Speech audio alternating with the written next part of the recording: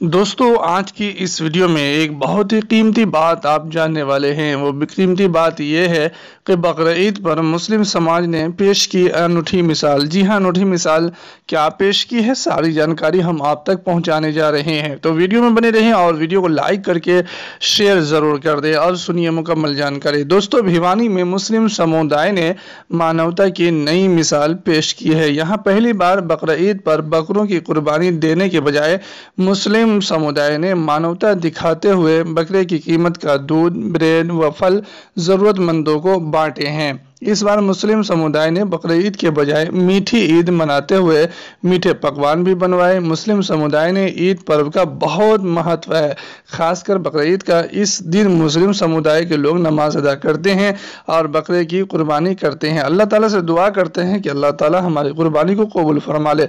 बस इस बार ऐसा कुछ हुआ नहीं। इस बार कोरोना महामारी के चलते सभी नमाजियों ने मस्जिद के बजाय अपने अपने घरों में ही नमाज़ अदा की है।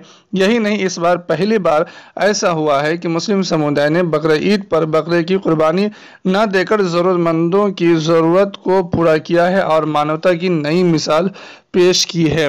मुस्लिम समुदाय कमेटी के जिला प्रधान जोरावर अली ने बताया कि कोरोना महामारी के चलते सभी नमाजियों को अपने घरों में ही नमाज़ अदा करने को कह दिया गया था और उसके अलावा जो है कुर्बानी भी नहीं की गई है। हम लोग मीठी सवैया बनाकर और दीगर खाने पीने की चीज़ें बनाकर हम लोग घर में ही बांटकर खुशी मनाए हैं और खाए हैं। क्योंकि हमें कोरोना को रोकना है, कोरोना को हराना है, हमें अपने को बचाना है, देश को बचाना है, देश के लोगों को बचाना है। तो दोस्तों, ये बड़ी खबर आपने जाना कि इस तरीके से बकरीद पर मुस्लिम समाज ने एक नई मिसाल कायम कर दी है जो दुनिया हमेशा याद रखेगी। तो दोस्तों, इस वीडियो को ज़्यादा से ज़्यादा लाइक करके शेयर ज़रूर कर दें।